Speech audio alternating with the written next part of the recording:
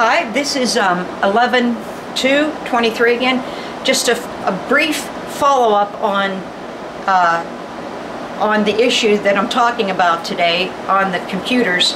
Um, a, the true um, the, a lack of balance, in, inferiority, truly. Uh, you know, it's not the rest of the world, Mr. Trillionaire and Billionaire, that's inferior. It's it's you that's perceiving your inferiority because you surround yourself with so many perfect things that your own sense of inferior that your own sensing of an inferiorness to those things causes you to look at the rest of us as you're as inferior to you.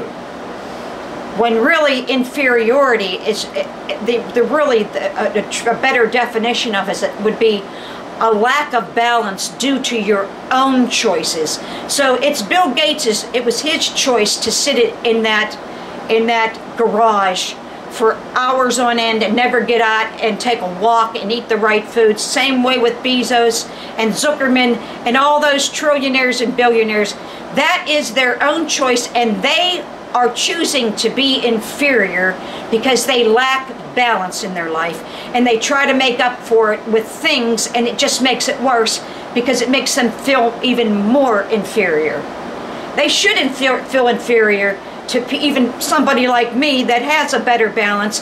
The balance in my life is because I'm being held in a virtual death camp by my community and by my non-consensual social atom and people like Bill Gates and the rest of these billionaires that hold back the basic human necessities of paying our bills and getting our mail online to make themselves richer and to build their and to make their pyramids bigger which they act like they have to do these things overnight and they don't have to be done overnight.